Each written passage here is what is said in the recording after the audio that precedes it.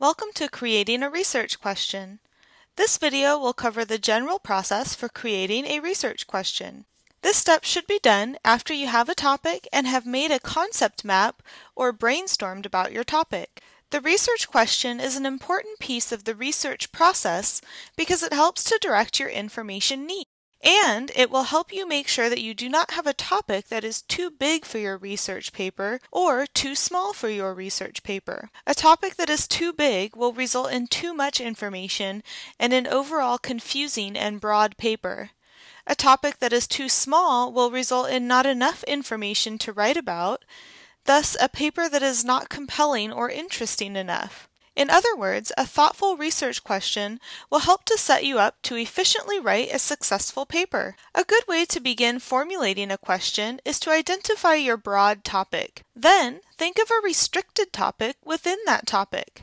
With that in mind, think of a group that might be affected by the topic or issue in a particular way, and then think of a geographic area to focus on. Use what you learned in your initial reading on your topic to help you choose an interesting group and geographic area to focus on.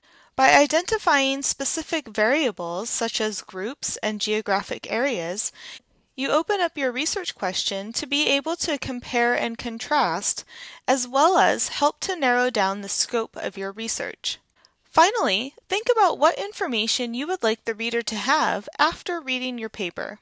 For example, for the broad topic of respiratory illness, the restricted topic might be asthma.